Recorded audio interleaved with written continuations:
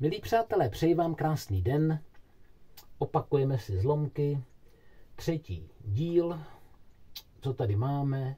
Takzvaný složený zlomek, hlavní zlomková čára, nahoře zlomek, dole zlomek. Pak je tady taky složený zlomek, ale jsou tam dokonce ještě nějaké dílčí výpočty.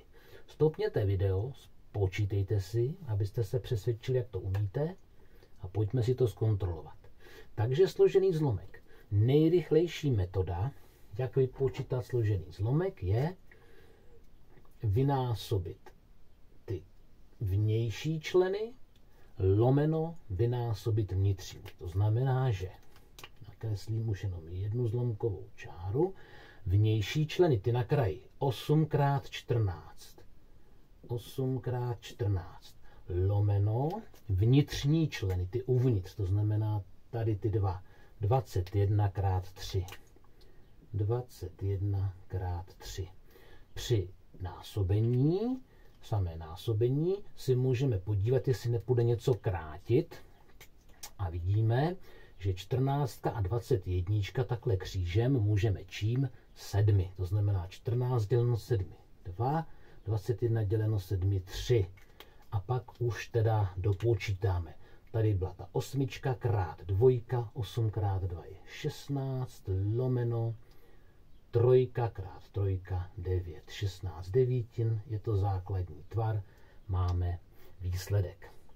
Jinak, kdo by si nevzpomněl na tohle pravidlo, no tak přece e, můžu to udělat ještě tak, že zlomek je dělení, čili tahle hlavní zlomková čára představuje dělení dvou zlomků. Takže opíšu si ten horní zlomek, 8 lomeno 21 a vlastně to dělíme, že jo, dělíme to tím spodním, čili 3 čtrnáctiny. No ale dělení zlomků přepisujeme na násobení, či převádíme na násobení. 8 lomeno 21 si necháme, krát a tady ten přehodíme, čili 14 lomeno 3. No máme to samé, co tady. 8 x 14, 8 x 14, 21 x 3, 21 x 3, čili dostaneme se ke stejnému vlastně výpočtu nakonec. Druhý příklad, když mám ve složeném zlomku nějaké příklady, výpočty, tak si je nejlépe uděláme někde stranou. Čili my si spočítáme tady ten příklad, co je nahoře v tom čitateli, čili jedna polovina minus jedna třetina si takhle vypočítáme zvlášť. No je to odčítání zlomků, takže určitě víte, že na společného jmenovatele dvojka, trojka, dvakrát tři je šest musíme použít.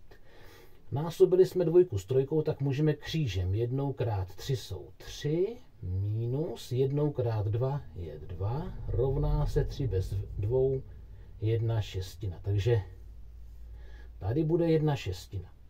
Dole v tom jmenovateli si spočítáme taky zvlášť, čili jedna třetina plus jedna čtvrtina rovná se sčítání zlomků, společný jmenovatel trojka, čtyřka musíme pronásobit 3 x 4 12 a zase teď můžeme křížem, čili 1 x 4 jsou 4 plus 1 x 3 jsou 3 a máme 4 a 3 7 dvanáctin.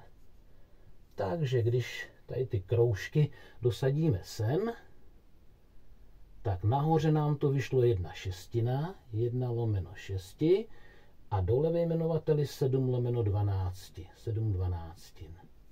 A už je to takový ten obyčejný složený zlomek, takže můžeme použít tohle rychlé pravidlo, vnější jednou krát 12. Jednou krát 12 bude nahoře v čitateli a 6 krát 7 bude dole ve jmenovateli.